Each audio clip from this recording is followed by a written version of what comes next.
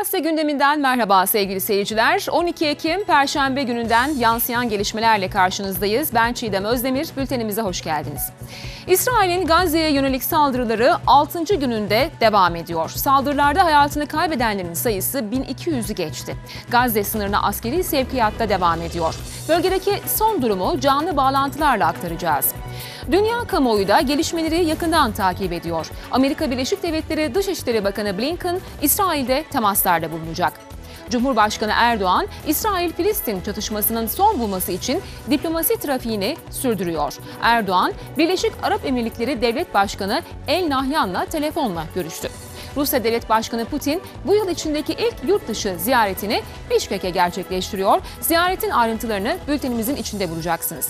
Kuzey Kıbrıs Türk Cumhuriyeti Cumhurbaşkanı Ersin Tatar ise Azerbaycan'da. Ziyaretin önemine ve gündemine ilişkin notları da arkadaşımız Fatih Avanos'tan alacağız.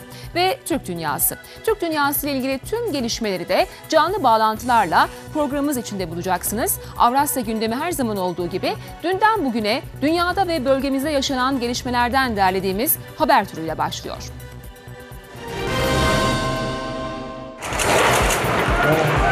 İsrail savaş uçakları Gazze şeridinin güneyindeki Refah şehrine hava saldırıları düzenledi. 9 kişi öldü. İsrail güçleri Gazze şeridinin kuzeyinde ise bir ambulansı vurarak 4 sağlık çalışanını katletti. Abluk altındaki bölgede elektrik tamamen kesildi. Hamas, Aksa Tufanı operasyonunun birinci dereceden bir savunma operasyonu olduğunu açıkladı. İsrail'de ise hükümet muhalefetle esirlerin geri alınması için çaba harcama konusunda anlaştı. Dünyanın gözü İsrail-Filistin çatışmasında. İsrail Gazze'de sivil yerleşimleri bombalamaya devam ediyor. ABD Başkanı Joe Biden İsrail Başbakanı Netanyahu'yu uyardı. Savaş kurallarına göre hareket edin dedi. Birleşmiş Milletler insani ateşkes çağrısında bulunurken Arap Birliği de Gazze gündemiyle toplandı. ABD Dışişleri Bakanı Antony Blinken bugün İsrail'de olacak. Blinken yola çıkarken İsrail halkının arkasındayız. Bugün, yarın ve her zaman arkalarındayız açıklaması yaptı. Hamas esir aldığı bir Yahudi yerleşimciyle iki çocuğunu serbest bıraktı. Katar merkezli El Cezire televizyonu kadınla çocukların serbest bırakılmasına ilişkin görüntüleri yayınladı. Sosyal medya platformu X, yasa dışı içerik ve dezenformasyon iddialarıyla gündemde. İletişim Başkanlığı platformdaki İsrail-Filistin çatışmasına ilişkin gerçeği yansıtmayan paylaşımlarla ilgili bülten yayınladı. Avrupa Birliği de Elon Musk uyardı. Avrupa Birliği Komisyonu Musk'a gönderdiği mektupta bu tür içeriklerin kaldırılması için 24 saat süre tanıdı. Rusya Devlet Başkanı Vladimir Putin, Türkiye'de kurulması planlanan doğalgaz transfer merkezi ile ilgili açıklamalarda bulundu. Bu projeye Türk dostlarımız, biz ve Avrupa'da Rus kaynaklarını almak isteyen herkes ilgi gösteriyor dedi. Ukraine Wartime Diaries TRT World TRT World uluslararası alanda çok ses getiren bir başarıya imza attı. 44. Uluslararası Emmy ödüllerinde haber belgesel dalında ödül aldı. TRT World Kanal Koordinatörü Bora Bayraktar, bu başarı TRT'nin ve Türk haberciliğinin geldiği noktayı tescil ediyor dedi. NASA uzay madenciliği için önem taşıyan keşif görevini başlatıyor. Uzay aracı bugün yola çıkıyor. Amerikan Havacılık ve Uzay Ajansı'nın Bennu asteroidinden aldığı örneklerde ise yüksek miktarda karbon ve su bileşenleri tespit edildi. ABD ordusu da askeri uydu iletişim ağını başarıyla test etti.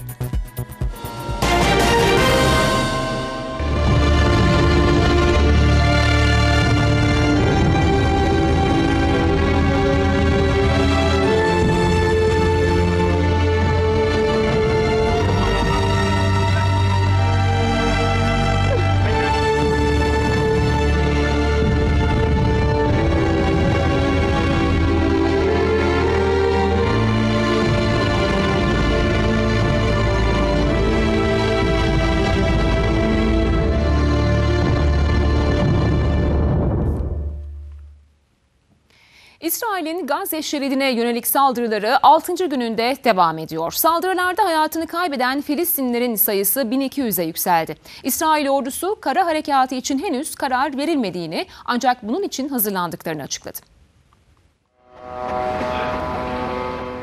İsrail savaş uçakları Gazze şeridinin güneyindeki Refah şehrinin çeşitli bölgelerine hava saldırıları düzenledi. Çok sayıda bina yıkıldı. İsrail güçleri bölgenin kuzeyinde bir ambulansı da hedef aldı. Gazze şeridindeki Eşşati mülteci kampı ve Cibaliya bölgeleri de İsrail güçlerinin hedefi oldu. İsrail saldırılarında hayatını kaybeden Filistinlilerin sayısı 1200'ü geçti. Yoğun bombardıman sürerken İsrail ordusu kara harekatına hazırlandıklarını ancak harekata henüz karar verilmediğini duyurdu. Filistinlilerin deniz yoluyla İsrail'e sızmaya devam ettiği kaydedildi. Gazze şeridi İsrail ablukası altında. Enerji Bakanı İsrail Katz, Hamas, rehineleri serbest bırakana kadar Gazze'ye insani yardımın girmesine izin verilmeyeceğini, elektrik, su ve yakıt tedarikinin olmayacağını söyledi. İsrail Sağlık Bakanı Moshe Arbel ise İsrail'e saldırırken yaralanan Filistinlilerin tedavisinin yapılmayacağını ifade etti. Batı Şeria'da da tansiyon yüksek. İsrail güçleri işgal altındaki Batı Şeria'nın Cenin kentine baskın düzenledi. Engel olmak isteyen Filistinli gençlere İsrail güçleri gerçek ve plastik mermi kullanarak karşılık verdi. Gerginlik silahlı çatışmaya dönüştü. İsrail'in Gazze şeridine yönelik saldırıları aralıksız sürüyor. Gazze sınırına askeri sevkiyatta devam ediyor. Bölgedeki son durumu Hüseyin Günay'dan alacağız şimdi. İsrail tanklarının kara sevkiyatı devam ediyor. İşte bulunduğumuz noktadan görüyorsunuz üst üste askeri araçlar, tanklar cephe hattına, kara sınırına doğru Gazze'yi kuşatan noktalara doğru sevkiyatı sürüyor. Ülkenin birçok noktasından getirilmişti ve askerler üst üste yaklaşık 30'a yakın tankın bu bölgeye doğru gittiğini görüyoruz. Ve bu tanklar e, özellikle olası kara harekatında Gazze'ye karşı kullanılacak e, onu biliyoruz. Ve çok sayıda askerin tabii ki e, bu bölgeye sevk edildiğini 300 binden fazla yedek asker göreve çağrılmıştı. Ve bu noktadan da işte hem zırhlı personel taşıyıcılar hem tanklar o bölgeye doğru hareket ediyor. Görüyorsunuz çok sayıda tank buraya doğru hareket etti. Deyim yerindeyse arkası kesilmiyor, üst üste geliyor. Ülkenin birçok noktasından Gazze'yi ablukaya alacak noktalara çok sayıda tankın geldiğini biliyoruz. İşte o tanklar zırhlı personel taşıyıcılar, paletli taşıyıcılar bölgeye doğru hareket ediyor. Özellikle Gazze'yi Gazze'yi abluk altına almış durumda İsrail. Çok sayıda saldırı gerçekleştiriyor. O saldırılardan bazıları hava saldırısı, bazıları kara saldırısı oluyor. İşte karadan yaptığı saldırılarda tankları aktif olarak kullanıyor. Obüs atışlarını ağırlıklı olarak kullanıyor. Ve şu su esnada da İsrailli askerler tanklarla, zırhlı personel taşıyıcılarla o bölgeye doğru hareket ediyor. Ve olası bir kara harekatında da işte bu tankların kullanılması bekleniyor. 300 binden fazla e, askerin e, göreve çağrıldığını söylemiştik İsrail'de. E, çok sayıda askeri araç hareketlerini görüyorduk ancak özellikle tankların bu kadar yoğun olduğunu ilk kez şahitlik ediyoruz. Biz Sederot'tayız ve Sederot'ta bulunduğumuz bu noktada çok sayıda askeri araç, tanklar bölgeye doğru sevk ediliyor. Kameraman arkadaşım Samet Gençlük'ten rica edeceğim. İşte bir tane daha geliyor. İşte bu tanklar olası kara harekatında kullanılacak Gazze'ye yönelik ve sınır hattına çok sayıda aracın sevk edildiğini, askeri aracın sevk edildiğini iletelim. Ancak bugün yoğun bir şekilde özellikle tanklar o noktaya doğru iletiliyor ve askerler İsrail tanklarının üstünde o bölgeye doğru hareket ediyorlar. Biz sıcak noktadayız, sınırın sıfır noktasındayız ve e, yaklaşık 10-15 kilometre mesafede e, başka noktalarda bulunuyor. Birçok noktaya askeri araç sevki söz konusu. Şu an belirli bir noktaya konuşlandıklarını söyleyelim. Ancak ilerleyen dakikalarda da onlar cephe hatlarında kendilerine e, belirtilen noktalarda konuşlanacaklar ve olası kara harekatında İsrail'in bu tankları kullanılacak. İsrail'in Gazze'ye saldırılarında sivil unsurlar da hedef alınırken Hamas'tan dikkat çeken bir adım geldi. Esir alınan İsrailli bir anne ve iki çocuğu serbest bırakıldı. Hamas'ın 7 Ekim'de İsrail'e yönelik başlatılan operasyon kapsamında esir aldığı anne ve iki çocuğu serbest bırakıldı. Serbest bırakılma anının görüntüleri paylaşıldı. Görüntülerde kadın ve bir çocuğu görünürken diğer çocuğun da annenin kucağında olduğu kaydedildi. Serbest bırakılan esirlerin sağlık durumuna ilişkin her iki taraftan da açıklama yapılmadı. Hamas, Aksa Tufanı operasyonu kapsamında çok sayıda İsrailliyi esir alarak Gazze tarafına götürmüştü. Hamas, Siyasi Büro Başkanı İsmail Heniye, 10 Ekim'de yaptığı açıklamada çatışmalar bitene kadar İsrail'e esir takası konusunda görüşme yapılmayacağını ifade etmişti. İsrail saldırıları nedeniyle abluka altındaki Gazze'de büyük insani dram yaşanıyor sayın seyirciler. Yaralılar Gazze'de şifa hastanesine taşınıyor. Yoğun saldırılardan en çok etkilenenlerse yine çocuklar. Anadolu Ajansı muhabiri Hint Kudari hastane önünde yaralı çocuklardan bahsederken gözyaşlarına boğuldu. Halas. İsrail sivil hedeflere bombalar yağdırıyor, kadın ve çocuklar can veriyor. Abluk altındaki Gazze'deki şifa hastanesinde can pazarı yaşanıyor. Saldırılar sonucu aralarında çocukların da bulunduğu çok sayıda yaralı ambulanslarla tedavi için Gazze Şifa Hastanesi'ne getirildi. Hastanenin odalarında yer kalmadı. Yaralananların çoğu çocuk. Gazze Sağlık Bakanlığı, İsrail'in Gazze şeridindeki hava saldırılarında yaralananların %60'ını kadın ve çocukların oluşturduğu açıklaması yaptı.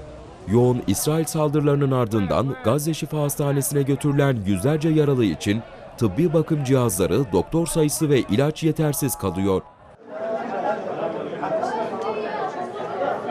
Gazze'de büyük insanlık dramı yaşanıyor. Tüm yaşananları anlatmak için Gazze Şifa Hastanesi önünde bulunan Anadolu Ajansı muhabiri Hint Hudari o zor anlardan etkilendi. Ambulanslar yaralı taşırken gördüklerine dayanamayan Anadolu Ajansı muhabiri Gazze Şifa Hastanesi önünde gözyaşlarına boğuldu. I see a girl with her teddy bear. Gördüklerini anlatmak isteyen Hint Hudari uzun süre ağladı. İsrail Gazze sınırına on binlerce asker yığdı. Bu da akıllara 18 yıldır abluka altında tuttuğu Gazze'ye kara harekatına başlayacak mı sorusunu getirdi. Batılı uzmanlar Gazze şeridinin tamamen ele geçirilmesinin ve yönetilmesinin uzun vadede İsrail ordusunun kapasitesini aşacağı yorumunu yapıyor. İsrail-Filistin savaşının patlak vermesiyle birlikte Gazze'ye düzenlenebilecek kara harekatı da gündeme geldi. Ancak İsrail için bu kara harekatı öyle kolay olmayacak. Peki olası bir harekatın İsrail açısından dezavantajları neler olabilir? Batılı uzmanlar yaptıkları analizlerle İsrail'in kara harekatını değerlendiriyor.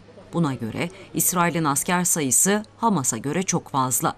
Hamas'ın askeri kanadı İzzettin Kassam Tugaylarının 30 bin ila 40 bin savaşçısı olduğu düşünülüyor.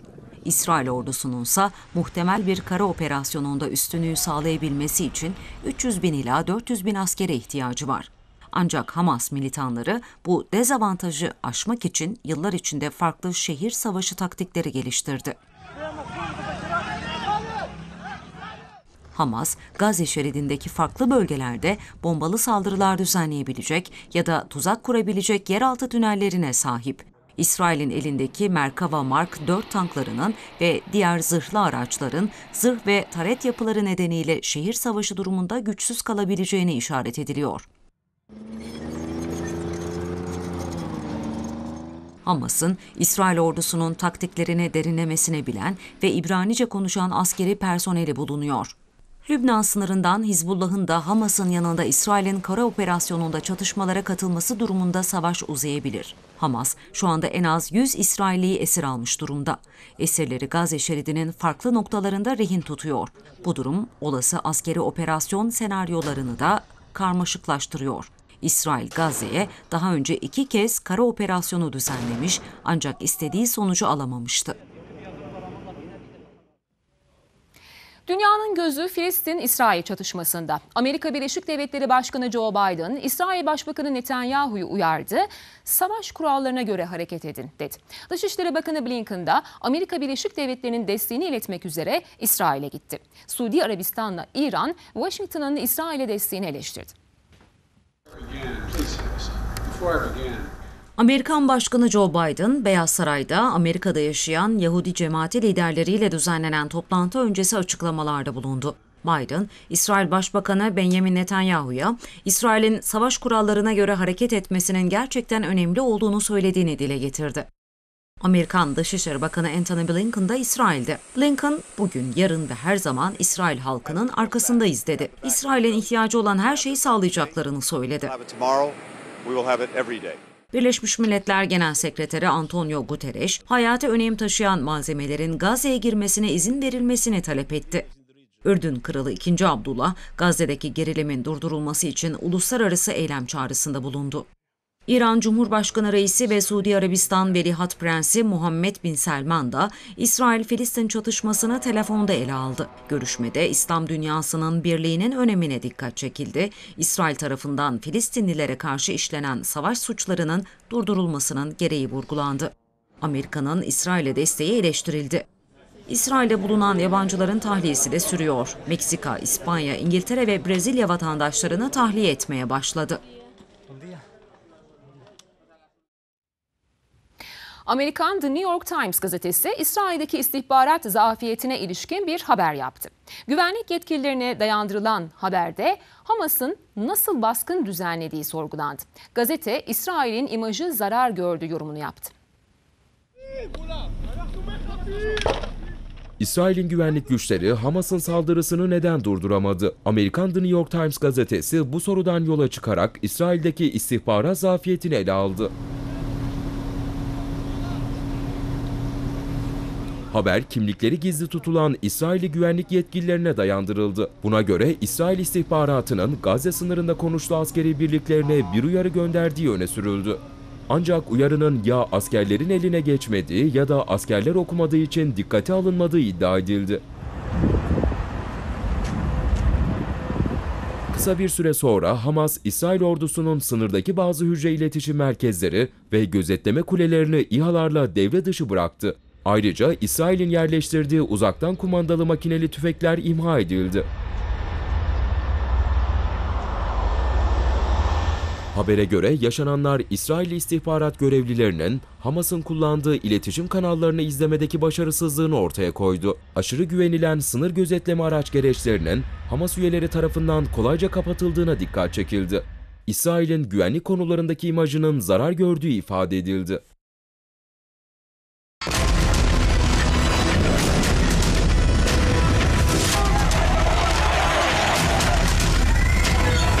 Hemen ilerisi artık İsrail askerleri tarafından kesilmiş durumda. İsrail Savunma Bakanı Gazze'ye tam abluka emri verdi. Elektrik yok, gıda yok, yakıt yok dedi. Gazze sınırında İsrail ordusu saldırılarına devam ediyor. Şu anda evet Gazze tarafından atılan roketleri hava savunma sistemi etkisiz hale getiriyor.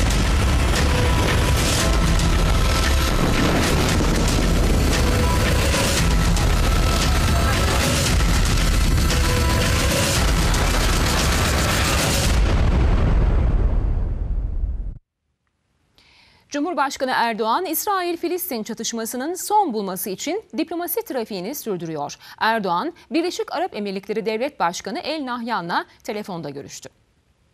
Açıklama İletişim Başkanlığı tarafından yapıldı. Cumhurbaşkanı Erdoğan'ın Birleşik Arap Emirlikleri Devlet Başkanı El Nahyan'la telefonda konuştuğu belirtildi.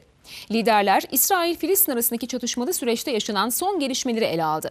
Erdoğan görüşmede gerilimin sonlandırılması için yapılabileceklere dikkat çekti. Krizin başta bölge ülkeleri olmak üzere uluslararası kamuoyunun alacağı müspet adımlarla bitebileceğini ifade etti. Cumhurbaşkanı Erdoğan, çatışmanın başladığı günden itibaren aralarında Filistin ve İsrail Cumhurbaşkanlarının da bulunduğu 12 isimle telefon görüşmesi gerçekleştirdi.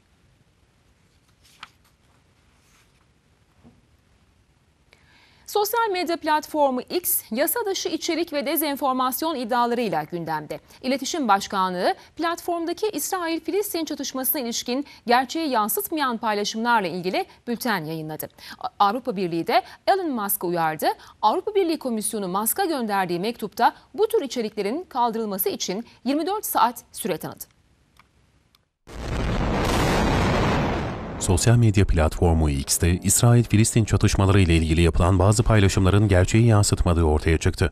İletişim Başkanlığı, gerçeği yansıtmayan çok sayıda görüntü ve paylaşımla ilgili bülten yayımladı. Paylaşımlardan biri Filistinliler İsrail'i çocuk ve kadınları vahşice dövdü haberi.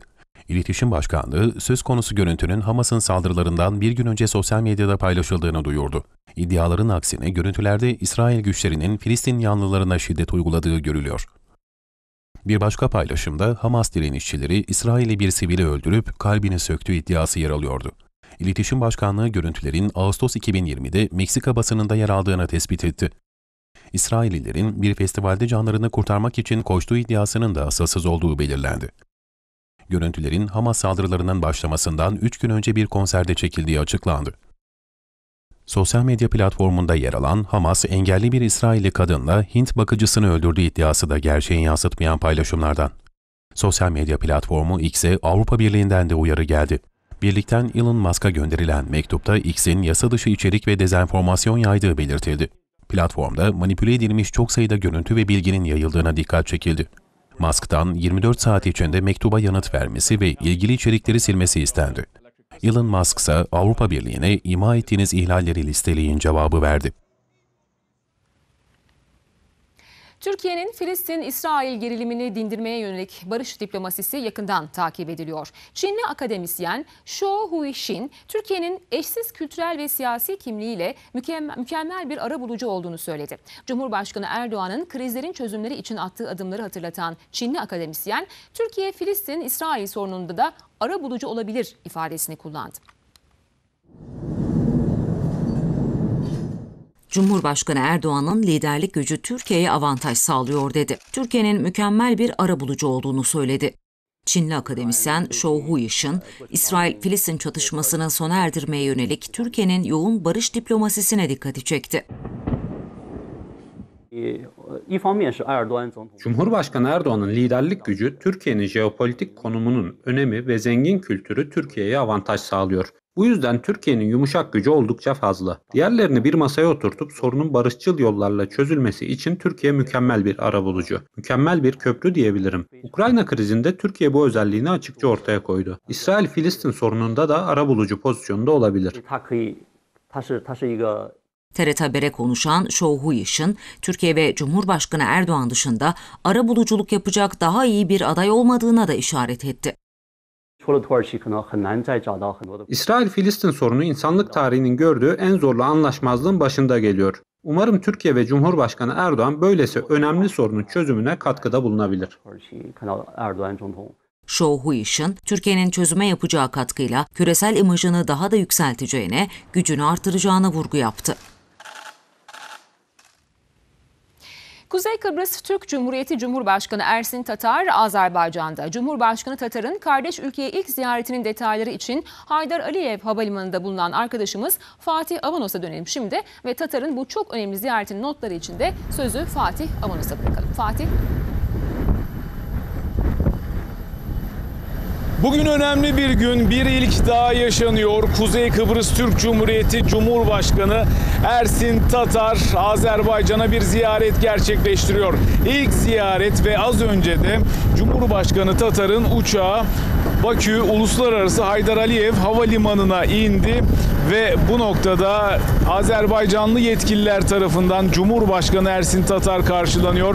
Yine Kuzey Kıbrıs Türk Cumhuriyeti Bakü temsilcisi Ufuk Turgener, Türkiye Cumhuriyeti Bakü Büyükelçisi Sayın Cahit Bağcı ve hanımefendi askeri ateşeler Bahtiyar Paşa da yine bu noktada e, karşılayanlar arasında Bakü'de görev yapan kurum ve kuruluşların temsilcileri, müşavirler, büyükelçilik müşavirleri de yine bu noktada Cumhurbaşkanı Ersin Tatar'ı karşılıyorlar. Önemli bir ziyaret, ilk ziyaret. Geçtiğimiz ay Cumhurbaşkanı İlham Aliyev Azerbaycan'ın her noktasında Kuzey Kıbrıs Türk Cumhuriyeti bayrağı dalgalanmalıdır demişti. Ee, ve Kuzey Kıbrıs Türk Cumhuriyeti'nden de çok hoş, anlamlı karşılık gelmişti. Teşekkürler bildirilmişti. Ve hemen bu sıcak diyalogların ardından da Kuzey Kıbrıs Türk Cumhuriyeti Cumhurbaşkanı Ersin Tatar Azerbaycan'a, Can Azerbaycan'a Bakü'ye bir ziyaret gerçekleştiriyor. Bugün akşam saatlerinde Cumhurbaşkanı'nın onuruna bir yemek verilecek onu ifade edelim. Yarın da ilk olarak ziyaretine Umum Milli Lider Haydar Aliyev'in Fahri Hıyaban'daki anıtına bir ziyaret gerçekleştirerek başlayacak.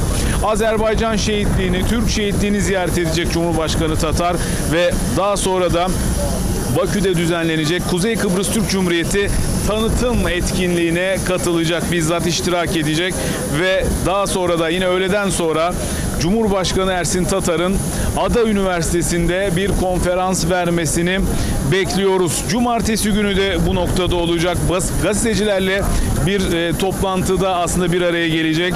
Daha sonra da fotoğraf ve Kuzey Kıbrıs Türk Cumhuriyeti kıyafetlerinin yer aldığı bir sergiye katılacak Cumhurbaşkanı. Kıbrıslı Türk iş insanlarıyla, buradaki Türk iş insanlarıyla da bir araya gelecek, sohbet edecek. Kuzey Kıbrıs Türk Cumhuriyeti e, iş adamlarının Bakü'deki faaliyetleri hakkında, iki ülke ticari ilişkiler hakkında bilgi alacak. Akşam saatlerinde de yine e, Büyükelçiliği ziyaret edecek. Kuzey Kıbrıs Türkiye Cumhuriyeti'nin Bakü'deki temsilciliğini ziyaret edecek. Burada yine Azerbaycanlı sanatçılarla da bir araya gelecek ve yine pazartesi günü de e, ziyaretini tamamlayıp dönmesini bekliyoruz. Ekonomik İşbirliği Örgütü'ne üyeydi Kuzey Kıbrıs Türk Cumhuriyeti. Geçtiğimiz yıl Türk Devletleri Teşkilatı'na gözlemci üye olmuştu. Her geçen gün aslında kardeşleriyle kucaklaşan bir Kuzey Kıbrıs Türk Cumhuriyeti olduğunu söyleyelim. Cumhurbaşkanı Erdoğan'ın da liderliğinde, Cumhurbaşkanı İlham Aliyev'in de katkılarıyla, destekleriyle Kuzey Kıbrıs Türk Cumhuriyeti'nin aslında tanınırlığı, küresel anlamda, uluslararası alanda tanınırlığı artmaya devam ediyor. Diyelim e, ifade ettiğimiz gibi Bakü Haydar Aliyev Uluslararası Havalimanı'ndayız. Kuzey Kıbrıs Türk Cumhuriyeti Cumhurbaşkanı Ersin Tatar'ın ziyareti artık başlıyor diyelim ve son söz bu şekilde sözü yeniden size bırakalım. Teşekkür ediyoruz Fatih Hanım aktardıkların için. Sayın seyirciler Kosova'daki NATO barış gücü misyonunda komuta artık Türkiye'de. 10 Ekim itibariyle KFOR komutasını devralan Türkiye bu önemli görevi bir yıl süreyle yürütecek. Detayları Kosova Priştine'den Esra Hasibi aktaracak bizlere. Evet Esra hemen sözü sana Türkiye bırakalım. Türkiye KFOR misyonu yani Kosova'daki NATO barış misyonunun kurulduğu 1999 yılından bu yana ilk kez böyle önemli bir görevi üstlendi. 10 Ekim itibariyle bir yıl boyunca KFOR'un komutası Türkiye'de olacak. Geçtiğimiz gün yani 10 Ekim'de Priştine'deki NATO ana karargahında gerçekleşti devir teslim töreni ve tüm General Özkan Ulutaş görevi İtalyan General Angelo Rustica'dan devraldı. Önemli bir dönemde e, denk geldi, döneme denk geldi aslında bu devir teslim e, dönemi diyebiliriz. Malum Kosova ile Sırbistan arasında gergin günlerin yaşandığı, tansiyonun oldukça yükseldiği bir dönemdeyiz. 24 Eylül'de yaşanan Banska çatışmasından sonra dünyanın gündemine oturmuştu aslında Kosova ve Sırbistan ilişkileri ve Kosova'nın kuzeyinde yaşanan gerginlik. Bu anlamda KFOR'un ülkede üstlendiği göreve ilişkin önemli mesajlar da verildi. Üst düzey e, konuklar da vardı 10 Ekim'deki devir teslim töreninde gerek NATO'dan gerek Kosova hükümetinden gerekse Türkiye'den üst düzey bir katılım gerçekleşti. KFOR komutasını devralan Tüm General Özkan Ulutaş konuşmasında Kosova'da güvenliğin ve istikrarın tesisinde KFOR'un önemine ve KFOR'un buradaki varlığının varlığının gerekliliğine vurgu yaptı. Balkanlarda ve Kosova'da kalıcı barış ve istikrarın sağlanmasının yapıcı bir tutum ve diyalogtan geçtiğinin altını çizdi. KFOR komutanlığının bugüne kadar olduğu gibi bundan sonra Türkiye'nin sorumluluğunda da NATO ve Birleşmiş Milletler kararlarına uygun olarak görevini tam bir tarafsızlık e, ilkesi uyarınca yerine getirmeyi sürdüreceğinin altını çizdik ki önemli bir mesaj aslında her iki tarafa da malum özellikle tansiyonun yükseldiği günlerde NATO'nun Kosova'daki barış misyonuna ilişkin e, zaman zaman özellikle Sırbistan tarafından eleştirel bazı açıklamalar vardı. Tarafsız davranmadığı yönünde bu anlamda her iki tarafa da eşit mesafede olan Türkiye'nin böyle önemli bir görevi üstleniyor olması da her iki taraf açısından da önemli. 1999 yılından itibaren Türkiye KFOR'da kendisine tahsis edilen kadrolara e, askeri personel gönderiyor. Hali hazırda yaklaşık 450 Türk askeri Kosova'da zaman zaman tabii NATO'nun talebine bağlı olarak bu sayı değişebiliyor. Haziran ayında olduğu gibi yine Mayıs ayında NATO askerleriyle buradaki KFOR askerleriyle Kosova'nın kuzeyindeki yerel Sırplar arasında bir çatışma yaşanmıştı ki 30 NATO askeriyle birlikte 50 yerel Sırp yaralanmıştı bu çatışma sırasında. Sonrasında NATO'dan gele, gelen taleple birlikte Türkiye yaklaşık 450 kişilik bir komando taburunu ihtiyat birliği olarak buraya göndermiş. 3 ay boyunca Türk komandolar burada görev yapmışlardı. 1999 Haziran ayında kuruldu KFOR misyonu 27 ülkeden yaklaşık 4500 e, askeri uluslararası askeri personel bu kapsamda görev yapıyor. E, NATO ittifakına ilişkin e, NATO ittifakından da özellikle yaşanan gerginliğe ilişkin ve KFOR'un e, görevlerine ilişkin açıklamalar vardı. NATO Genel Sekreteri Stoltenberg e, Kosova ile ilgili yaptığı son açıklamada durumun son derece gergin olduğunu, endişe verici olduğunu söylemişti. Ama yaptığı açıklamada NATO askerlerinin Kosova'da barışı korumaya hazır olduğu ve 1990'lardaki şiddet eylemlerine geri dönülmesine izin verilmeyeceğinin altını çizdi. Bu bağlamda aslında 24 Eylül'den sonra buradaki KFOR askerlerinin, NATO askerlerinin sayısının artırılması da e, kararı alınmıştı. Bu yönde karar alınmıştı ve e, son olarak Slovenya'dan da yine bir açıklama geldi. 100 kişilik bir e, takviye birlik gönderiyor. Bunun öncesinde İngiltere 200, Romanya'da e, 100 kişilik ek asker gönderme kararı almıştı. Kosova'da durum şu an itibariyle sakin. E, Baynska saldırılarının saldırısının sonrasında gerçekten e, oldukça gerilmişti iki ülke arası ilişkiler. Ama özellikle Kosova tarafının beklediği Sırbistan'dan beklediği ki uluslararası toplumdan Sırbistan hakkında e, bir yaptırım kararı alınması yönünde çağrıları var. E, uluslararası toplumun Avrupa Birliği'nin de bu yönde yaptığı açıklamalar evet diyaloğa dönülsün, masaya dönülsün, diyalogla sorunlar çözülsün ama özellikle yaşanan son Banska saldırısıyla ilgili olarak da Sırbistan'dan sorumluluk alması, özellikle soruşturma e, sürecinde sorumluluk alması, işbirliği yapması bekleniyor. Bu anlamda aslında bu soruşturmanın sonuçları ile birlikte iki ülke arası ilişkilerin ne yöne evrileceği de belli olacak. Özbekistan'a gidelim şimdi de sevgili seyirciler. Özbekistan Cumhurbaşkanı Mirziyoyev de Bağımsız Devletler Topluluğu zirvesine katılmak üzere Kırgızistan'a gidecek. Taşkent'ten gündem başlıkları için Şahrukbek Alimov da karşımızda bizi bekliyor. Evet, e, Bağımsız Devletler Topluluğu'nda üye ülkelerin liderleri e, ba, e, Özbekistan'da bir araya gelecek e, dedik. Neler aktaracaksın? Yarın? Kırgızistan'ın başkenti Bişkek'te Bağımsız Devletler Topluluğu üye ülkelerinin liderleri bir araya gelecekler. Bağımsız Devletler Zirvesi için birçok ülkenin devlet liderleri şu anda Kırgızistan'da bulunuyorlar veya yakın saatler içerisinde Kırgızistan'a yol alacaklar. Özbekistan Cumhurbaşkanı Şevket Mirziyoyev de bugün e, Bişkek'e gitmesi e, planlanıyor ve yarınki toplantıda katılım sağlayacak ve yarınki toplantıda bir konuşma yapması bekleniyor. E, bir açıklanan bilgilere göre üye ülkeler arasında çok yönlü işbirliğini geliştirmek, yatırım, ticaret ve inovasyon ulaştırma gibi birçok alanda ortak projeleri hayata geçirmek için fikirler ortaya konulacak yarınki yapılacak zirvede ve bu toplantı sonrasında gündem maddelerine ilişkin e, gerekli belgeler ve anlaşmalar imzalanması bekleniyor ve Kırgızistan'da e, Bağımsız Devletler Topluluğu üye ülkelerinin devlet liderleri bir araya gelerek e, bölge, bölgesel ve ülkeler arası işbirliğini güçlendirmeye yönelik fikirlerini ortaya koyacaklar. Öte yandan Özbekistan Cumhurbaşkanı dün Taşkent'te turizmle ilgili bir toplantı yaptı ve bu toplantıda turizmin yetkilileri ve diğer e, sektörlerin yöneticileri bir araya geldiler ve Cumhurbaşkanı e, yılın 8 ayında kaydedilen, turizmde kaydedilen başarılardan bahsetti. 8 ayında 4 milyon 300 bin turist Özbekistan'ı ziyaret ettiği açıklandı ve bu e, ziyaretler kapsamında yine 1 milyar 400 milyon dolarlık e, gelir sağlandığı açıklandı ama turizmin gelişmesi ve potansiyelin tam olarak kullanılması için bu yeterli değil ve bu yönde dünkü yapılan toplantıda gerekli öneriler verildi. Yine şunu kaydetmek mümkün. Son 8 ayda ülkede 15 bine yakın yeni otel faaliyete başladı ve ülkede şu anda ülke genelinde 137 bin e, otel ve otel hizmeti veren e, kuruluşlar faaliyetini sürdürüyor ve Dediğimiz gibi Özbekistan'a gelen turistlerin sayısının artması ile birlikte bu otellere ve diğer turizmdeki hizmet sektörüne ihtiyaç daha da artacak ve dün yapılan toplantıda gerekli öneriler Cumhurbaşkanı tarafından önerildi ve yetkililerin bu yöndeki görüşleri alındı.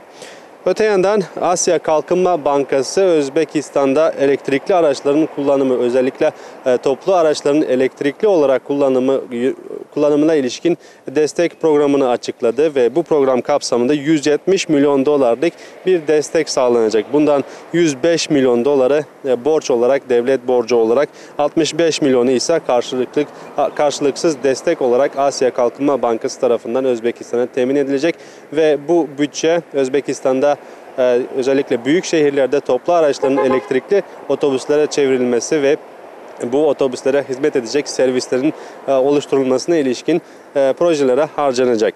Öte yandan İsrail ve Filistin krizi tüm dünyada gündemde ve Özbekistan tarafından da bazı açıklamalar yapıldı. Bugün e, Taşkent'ten İsrail'e yapılan bir e, uçuş vardı ve Özbekistan Büyükelçiliği e, bu uçuşların normal takvime göre devam edeceğini açıkladı. Önümüzdeki günler için yine uçakların sefer sayıları ve seferlerin saatlerine ilişkin yeni açıklamalar beklenmesini önerdi. Bir arada hatırlatalım Özbekistan vatandaşları olarak 10 bine yakın vatandaş şu anda İsrail'de yaşıyor ve e, şu ana kadar İsrail'de yaralı ve hayatını kaybeden Özbekistan vatandaşına ilişkin herhangi bir bilgi paylaşılmadı diyerek sözü Taşkent'ten size bırakalım. Teşekkür ediyoruz Şahruk Bek aktardıkların için. Türkistan'da Türkistan Türk Dünyası'nın turizm başkenti konulu uluslararası forum yapılıyor. Türkistan'ı tanıtmak ve turizm alanındaki etkileşimi aktarmak amacıyla düzenlenen etkinliğe katılım yoğun. Kazakistan'a gidelim şimdi. Foruma ilişkin notlar için Caner Salıbay karşımızda bizi bekliyor. Caner notların için sözü sana bırakıyoruz.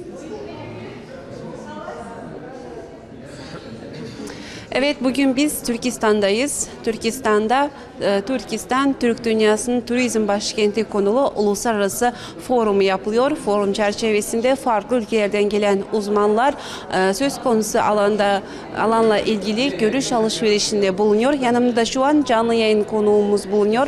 Canlı yayın konuğumuz Türk Devletleri Teşkilatı Proje Direktörü Sayın Ersin Aydoğan. Mikrofonu hemen kendisine uzatıyorum. Efendim canlı yayınımıza hoş geldiniz. İlk önce dün yapılan bakanlar toplantısı hakkında bilgi verir misiniz? Öncelikle teşekkür ederim. Ee, dün Türk Devletleri Teşkilatı 8. Turizm Bakanları toplantısı Türkistan'da gerçekleştirildi. Ee, toplantının asıl amacı Türk dünyasındaki turizm işbirliğini artırmak, bölgeye daha çok e, turist, turistin gelmesini sağlamak. Aynı zamanda Türk dünyası içindeki turist hareketliliğine katkıda bulunmak. Ee, dün birçok önemli kararlar aldık. Bunların arasında Türk dünyası içinde e, uçuş seferlerinin artırılmasına yönelik çalışmalar yapılması, Türk dünyasındaki turizm merkezlerinin tanıtılması için yeni bir web sitesinin e, dizayn edilip, hazırlanıp e, yayına girmesi. E, onun dışında Teberrük Ziyaret isimli Türk dünyasındaki kutsal yerlerin ziyaretini içeren projemize ilişkin gelişmeler ele alındı. E, bütün bunların yanı sıra en önemli e, gündem maddesi olarak Türk Dünyası Turizm Başkenti 2024 yılı için Kazakistan'ın Türkistan şehri ilan edildi. 3 yıllık bir proje, Türk Dünyası Turizm Başkenti projesi. 2022 yılında Özbekistan'ın Kokan şehri, 2023 yılında Azerbaycan Çamay şehri e, seçilmişti. Önümüzdeki sene içinde Türkistan Türk Dünyası Turizm Başkenti olarak ilan edildi. Türkistan çok e, uzun bir tarihi olan ve aynı zamanda Türk dünyasının ruhani, manevi başkenti olarak e, kabul edilmiş bir yer. Türkistan'ın bu niteliklerin yanı sıra turizm alanında özellikle son dönemde yapılan yatırımlar ve çalışmalar neticesinde e, kaydedilen gelişmelere bağlı olarak Türk dünyasının artık turizminde de önemli bir yer edindiğini ve önümüzdeki dönemde bunun artarak devam edeceğini söylemek mümkün. Türkistan'a bu benim aslında üçüncü gelişim ve her geldiğimde e, gerek altyapı gerek üst yapıda yapılan yatırımları ve gelişmeleri e, çok net bir şekilde görmek mümkün. Türkistan'a sadece Türk dünyasından değil, dünyanın çeşitli yerlerinden de turistler gelmeye devam ediyor ve e, önümüzdeki dönemde inşallah bu artarak devam edecektir. Ve önümüzdeki sene Türk Dünyası Turizm Başkenti olması da e, Türkistan'daki turizm faaliyetlerinin geliştirilmesine katkı sunacaktır diye ümit ediyoruz. Ee, Kazakistan ve Türkistan halkına göstermiş oldukları misafirperverlik için de ayrıca çok teşekkür ederiz. Ee, Sayın Ersin Bey, Kazakistan Cumhurbaşkanı Kasım Jomart Tokayev Türkistan'a özel statü verilme konusunda devlet etkilerine talimat vermişti ve bu konuda bu alanda da şimdi çalışmalar çalışmalar devam ediyor. Bugünkü forumda da bu konu masaya yatırıldı mı? Hangi konular öne taşındı? Ee, yarınki, dünkü bakanlar toplantısının akabinde bugün de turizm forumu e, tertip edildi Türkistan'da. E, bugünkü forumdaki temel konular Türk dünyasındaki turizm ilişkileri nasıl geliştirilebilir? Bu konuda sadece devlet yetkilileri değil, özel sektörden de katılımcılar kendi görüşlerini dile getirdiler. Türk dünyası içinde ve üçüncü ülkelerden Türk dünyasına e, daha çok turistin gelebilmesi için e, yapılabilecek çalışmalar ele alındı. E, toplam Türkistan'da olduğu için tabii ki temel odak noktası Türkistan. Türkistan'daki turizm, Türkistan'daki turizm nasıl geliştirilebilir? Buraya daha çok turistin gelmesi nasıl sağlanabilir? Buradaki gelişmelere bağlı olarak tanıtımı nasıl yapılabilir? Ee, bu tip konular ele alındı. Ee, Efendim canlı yayınla katıldığınız için teşekkür ederiz. İşlerinize kolaylıklar dileriz. Biz teşekkür ederiz. Çok sağ olun. İyi günler. Evet bugün Türk Dünyası'nın manevi başkenti Türkistan'da uluslararası forum yapılıyor. Forum çerçevesinde Türkistan'ı daha da iyi tanıtmak konusunda çalışmalar e, sonuçlandırıldı diyelim ve sözü tekrar size bırakalım. Caner sana ve konuğuna teşekkür ediyoruz biz de aktardıklarınız için. Azerbaycan'ın başkenti Bakü'de düzenlenen 3. Korkut Atatürk Dünyası Film Festivali ödülleri törenle sahiplerini buldu. Türk Dünyası sinemasına katkı ödülü Serdar Gökhan ve Metin Günay'ın, jüri özel ödülü Murat Pay'ın, en iyi film ödülü de Sönmez'in Ahmet Sönmez'in Yıldız Tozu adlı film oldu. Korkut Ata Türk Dünyası Film Festivali'nin üçüncüsü Azerbaycan'ın başkenti Bakü'de düzenlendi. Haydar Aliyev merkezine düzenlenen geceye Azerbaycan Kültür Bakanı Adil Kerimli, Kültür ve Turizm Bakan Yardımcısı Batuhan Mumcu, Türksoy Genel Sekreteri Sultan Rayev, Bakü Medya Merkezi Başkanı Arzu Aliyeva ve Türksoy'a üye ülkelerden sanat dünyasından isimler katıldı. Gece 4 gün süren festival boyunca hafızalara kazınan görüntülerden hazırlanan bir video gösterimiyle başladı. Törende Türksoy özel ödülü Azerbaycan halk sanatçısı Fahrettin Manafova'ya takdim edildi. Türk dünyası sinemasına katkılarından ötürü Serdar Gökhan'la Metin Günay ödüle layık görülürken Türkmenistan, Azerbaycan, Özbekistan ve Kazakistan'dan önemli isimler de ödül aldı. Jüri özel ödülüne Jumble filmiyle Kazakistanlı yönetmen Dostcan Jan Botayev ve Hep 33 yaşında filmiyle yönetmen Murat Pay layık görüldü. En iyi erkek oyuncu ödülünü Türkmenistan'dan Ahmet Aman Durdiyev alırken en iyi kadın oyuncu ödülü ise Azerbaycan'dan Tahmina Rafaella kazandı. En iyi belgesel film dalında Yıldız Tozu'yla ödüle layık görülen yönetmen Ahmet Sönmez ödülünü Bakü Medya Merkezi Başkanı Arzu Aliyeva'dan aldı. Gecenin kapanışında Azerbaycan Kültür Bakanı Adil Kerimli bir sonraki Korkutada Festivali'nin Türkmenistan'ın Anev şehrine taşınmasını simgeleyen Turna Kuşu ödülünü Türkmenistan temsilcisine takdim etti. Türk dünyası için önemli bir şey Korkut Ata Film Festivali ve bir yer edindi coğrafyamızda. Ee, tabii katılım artarak devam ediyor. Gerçekten burada olmaktan çok mutluyuz. Sinemaya ilişkin bir platformdayız şu anda biliyorsunuz e, Korkut Ata Film Festivali'ndeyiz. Son 4 yılda TRT 3 kez Oscar'a e, kendi ortak yapımlarını götürmüş. Al- Tür- TRT tarihinde ilk defa e, geçen sene Altın Palmiye ödülünü almış bir noktada çok şükür. Dolayısıyla bu güzel örnekleri de e, artırmanın gayretindeyiz. Geceye katılan oyuncular da Korkutada Film Festivali'nin önemine değindi. kültür bağı oluşturması açısından çok önemli bir festival. Ciddi nüfusa sahip bir Türk coğrafyası var. Ve bu coğrafyadaki insanları bir araya getirebilecek en önemli unsurlardan bir tanesi sinema. Bir kültür birlikteliği sağlanarak o sinemayla, sinemanın güçlü etkisiyle dünyaya çok farklı mesajlar verebiliriz. Gecede Dede Korkut destanını anlatan sergide düzenlendi.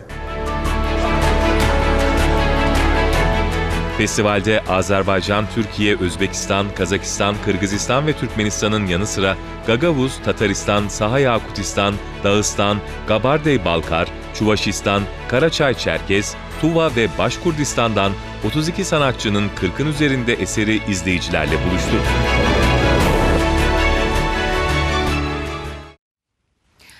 ...13 ülkeden 80 savaş uçağı birlikte tatbikat gerçekleştirdi. Farklı ülkelerden onlarca pilot, yüzlerce personel bu tatbikatta görev aldı. Bu yıl İtalya'nın ev sahipliği yaptığı NATO'nun Tiger Meet tatbikatı sürüyor. İtalya Hava Kuvvetleri Komutanı General Luca Goretti tatbikatın detaylarını TRT Haber'den Merve Güneş'e anlattı. Kameraman Musa Toprak görüntüledi.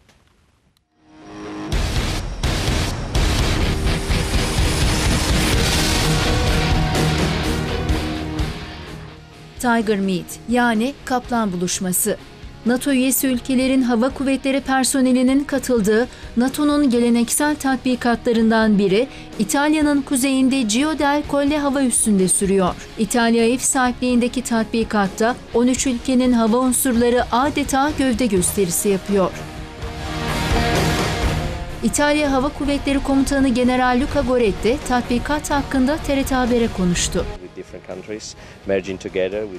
Biliyorsunuz Tiger Meet'e 35 yıl sonra yeniden ev sahipliği yapıyoruz. Bu gurur duyduğumuz bir şey. Kaplan buluşması için bu üste çalışanlar çok emek verdi. Burada sadece 100 savaş uçağı yok. Farklı ülkelerden gelen binlerce hava kuvvetleri personeli bulunuyor. Sadece ortak bir amacımız var, kendimizi eğitmek. Hepimiz kaplan figürleri altında başarıya ulaşmak için uğraşıyoruz. İtalya Hava Kuvvetleri Komutanı Goretti, Türkiye ile ilişkiler hakkında da konuştu. Türk Hava Kuvvetleri'nin NATO'ya olan katkısına değindi. Türkiye ile ilişkilerimiz öncesinde mükemmeldi. Şu anda da harika gidiyor. Aramızdaki işbirliği çok çok aktif ve çok güçlü. Çünkü hepimiz Akdeniz'de yaşıyoruz. Dolayısıyla pek çok ortak noktamız var. Tiger Meet tatbikatına 13 ülkeden 80 savaş uçağı, 10 helikopter ve binlerce personel katılıyor.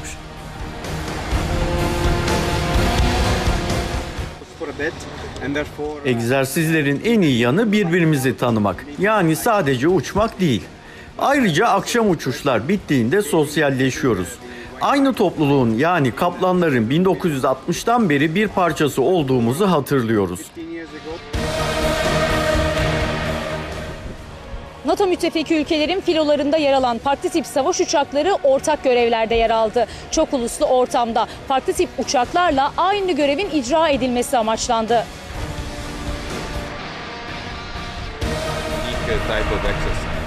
Bu kadar çok jeti bir araya getirmek ve her ulusun kendi başına yapabileceği karmaşık senaryolar yaratmak için çok iyi bir fırsat. Birbirimizle bağ kurmak ve entegre olmak için de çok iyi bir fırsat sunuyor. Bu yüzden çok yararlı bir tatbikat oluyor. Türk Hava Kuvvetleri ise kabiliyetleriyle ön plandaydı.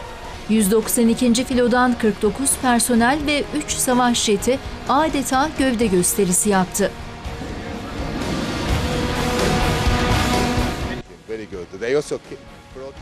Türk Hava Kuvvetleri ile ilişkilerimiz çok iyi. Muhtemelen uçuş hattında gördüğümüz en iyi boyalı jeti buraya getirdiler. Onlarla kesinlikle çok iyi anlaşıyoruz ve onlarla uçmak da çok güzel. Tüm NATO ortakları bütünleşti. 2 Ekim'de başlayan Tiger Meet tatbikatı 13 Ekim tarihinde sona erecek.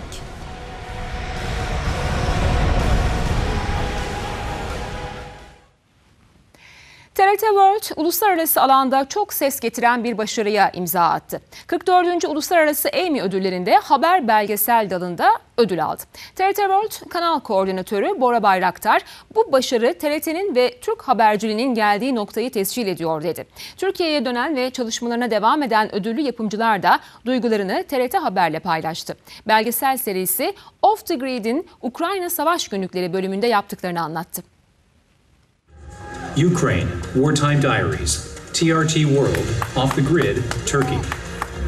TRT World'un ödüllü belgesel serisi Off the Grid'in Ukrayna Savaş Günlükleri bölümü Emmy ödülüne layık görüldü. Ödül töreni Amerika Birleşik Devletleri'nde düzenlendi. Ödül büyük ses getirdi. TRT World Kanal Koordinatörü Bora Bayraktar'a göre bu, Türk haberciliğinin geldiği noktayı gösteren bir başarı. Thank you very much. TRT World'un Emmy kazanmış olması aslında e, hem TRT'nin hem de Türk haberciliğinin, e, gazeteciliğinin e, televizyon haberciliği konusunda ne kadar üst düzeyde olduğunu gösteren e, bir ödül. E, uluslararası anlamda bizim e, yayın kalitemizin, e, haberciliğimizin aslında e, tanınması ve tescil edilmiş olması e, anlamına geliyor. Bütün Türkiye için çok önemli bir ödül. TRT World çalışanı ve belgeseli hazırlayan Muhsin Ennaimi ve Alexander Poliya kazandıkları ödülün gururunu yaşıyor. Ben olağanüstü mutluyum, onurluyum ve gururluyum bu işi yaptığım için. Bu ağ 8 yıl önce kuruldu ve en başından beri buradaydık. TRT bize süreç boyunca hep yardım etti. Şimdi biz de bu başarı öyküsünde bir paya sahibiz. Ukraine, Wartime Diaries, TRT World, Off the Grid, Turkey. Very like you know nice feeling. Uh, Emmy'ye gitmek, geçen yılın en iyi televizyon yapımlarıyla yarışmak elbette harika bir duygu. Muhsin Ennaimi'ye göre TRT World'ün başarısında bakış açısı kilit rolde. the war is very brutal, like any other war. Ukraynalılar daha en başında tüm süreci belgelemeye, kanıt bulmaya başlamıştı. Çünkü bir gün Uluslararası Adalet Divanı'nda bu savaşın arkasındaki sorumluların hesap vereceğini biliyorlardı. Bunu çok ilginç buldum. Çünkü daha önceki savaşlarda, örneğin Balkanlarda, Bosna'da ya da Irak'ta bu tarz suç soruşturmasına şahitlik etmemiştik. Genelde savaş sonlandığında, müzakereler başladığında, çatışma stabil hale geldiğinde bu tarz kanıtlar toplanmaya başlar. Buradaysa durum tamamen farklı. Bu film, Ukraynalı sivillerin adalet için seslerini duyurmak için yaptıklarını gösteren süreç hakkında. Ukrayna savaş günlükleri, yerel ve uluslararası ekiplerin sivilleri hedef alan savaş suçlarına dair kanıt toplama ve belgeleme süreçlerine odaklandı. Alexander Poliya'ya göre adalet arayışını belgelemek kadar onun nasıl gösterildiği de ödülü getirdi. Bence başarının anahtarı sahaya gitmenin önemini anlayan, birinci elden hikayeyi görmeni, insanlarla tanışmanı sağlayan, kapalı ve açık yerlerde ne kadar çok hikaye toplayabilirsen toplamana izin veren yöneticiden geçiyor. Biz televizyon işi yapıyoruz ve bu bir ekip işi. Kazak turistler Antalya'ya yoğun ilgi gösteriyor. Kent sadece 9 ayda Kazakistan'dan gelen 380 bin turisti ağırladı. Sektörün hedefinde sayıyı önce 500 bine çıkarmak ardından 1 milyonu geçmek var. Antalya'ya turist akını hız kesmeden devam ediyor. Başarılı bir turizm sezonu geçiren kente bu sene Kazakistan'dan da rekor sayıda turist geldi. Rekorlar yılı 2019 verileri de geride kaldı. 2019'un 9 ayında 180 bin Kazakistanlıyı ağırlayan Antalya bu sene aynı sürede 380 bin Kazak turisti misafir etti. Baktığımızda birinci sırada İstanbul var, ikinci sırada Dubai var, üçüncü sırada Antalya var. Şimdi genellikle Kazak e, halkı İstanbul ve Dubai'yi aktarma için kullanıyorlar. Bu ilk üçteki e, destinasyonlarda sadece Antalya direkt uçuş olarak kullanılan bir e, nokta. Dolayısıyla Kazak halkında e, Antalya'nın öneminin ne kadar büyük olduğunu aslında burada da görüyoruz. Türk şirketi tarafından yönetilen Almatı'daki havalimanına yeni bir dış hatlar terminali inşa ediliyor. Böylece kapasite ikiye katlanarak yıllık 14 milyon yolcunun üzerine çıkacak. Turist sayısı da artacak. Hedefimiz ilk etapta 500 bin yolcu. Kazakistan bölgesinde teşvik programlarımız var özellikle kış sezonu için. Sadece Kazakistan'dan Türkiye'ye değil, Türkiye'den Kazakistan'a da çok sayıda turist gidiyor. Bu Tanrı dağlarına falan merak ettiğimiz için e, Türk Kazak e, kardeşlerimizin, e, ata babalarımız bir olduğu için onları merak ettim. Gayet güzel. Manzarası, doğası, insanları, sıcak. Önümüzdeki yıllarda atılacak yeni adımlarla Kazakistan'dan Antalya'ya gelen turist sayısının 1 milyonu aşması hedefleniyor. NASA uzay madenciliği için önem taşıyan keşif görevini başlatıyor. Uzay aracı bugün yola çıkıyor. Amerikan Havacılık ve Uzay Ajansı'nın Bennu asteroidinden aldığı örneklerde ise yüksek miktarda karbon ve su bileşenleri tespit edildi. Amerika Birleşik Devletleri ordusu da askeri uydu iletişim ağını başarıyla test etti. Amerikan Ulusal Havacılık ve Uzay Ajansı uzayda madenciliğin kapısını aralayacak bir göreve başlıyor. Tenis kortu büyüklüğündeki Psyche uzay aracı ismini aldığı asteroide doğru yola çıkıyor. Mars ve Jüpiter arasındaki yörüngede bulunan Psyche asteroidinin özelliği metal zengini olması. Asteroidin sadece yüzeyindeki madenlerin değerinin 10 bin kat trilyon dolar olduğu tahmin ediliyor. Henüz bu madenlerin çıkarılıp dünyaya nakledilmesi için gerekli teknoloji olmasa da keşif görevi uzay çalışmaları için büyük önem taşıyor. NASA, Bennu asteroidinden de topladığı numunelerde önemli bileşenler tespit etti. 4,5 milyar yaşındaki asteroitten toplanan numunenin gezegenimizin oluşumu için hayati önem taşıyan bileşenleri barındırdığı açıklandı. Bol miktarda su ve karbon içeren asteroid, dünyadaki yaşamın temellerinin uzaydan atıldığı teorisini destekler nitelikte. Amerikan ordusu askeri bir uydu sistemini test etti. Starlink uydu sisteminin benzeri olan bir askeri uydu sisteminin testinin başarılı şekilde tamamlandığını duyurdu. Starshield yani Yıldız Kalkanı adı verilen bu sistem mevcut iletişim ağına bir alternatif olmak üzere geliştiriliyor. Sistem tamamlandığında ana iletişim hatlarında tahribat yaşanması halinde devreye girmesi planlanıyor. Bu haberle noktalıyoruz Avrasya gündemini. Yarın aynı saatte görüşünceye dek her şey gönlünüzce olsun. Şimdilik hoşçakalın.